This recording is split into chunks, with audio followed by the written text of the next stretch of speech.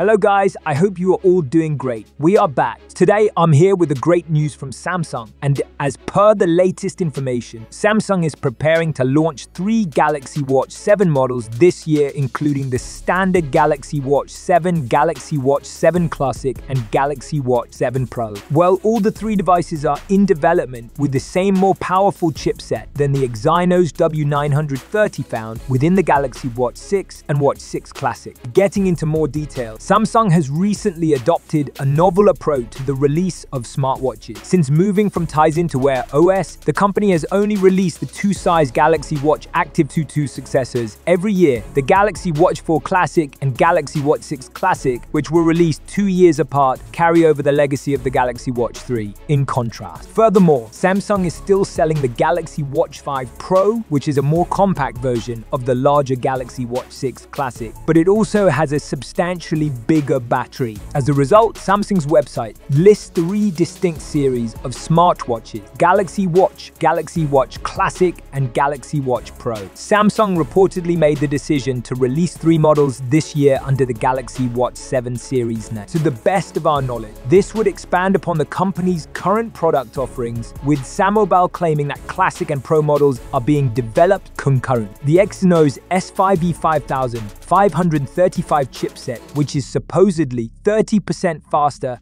than the Exynos W930 chipset powering the Galaxy Watch 6 series will power the Galaxy Watch 7, Galaxy Watch 7 Classic, and Galaxy Watch 7 Pro. Furthermore, it is reported that the chipset will achieve this performance improvement while lowering power consumption by 50%, most likely by using a 3 nanometer manufacturing process. But sadly, there is currently no word on whether any of these new smartwatches will feature Samsung's much discussed Squircle redesign. That's all the information I have have of the trio for now. Let me know your thoughts in the comment section below as well. If you guys are new here, be sure to subscribe. The tech chat is over and I am out.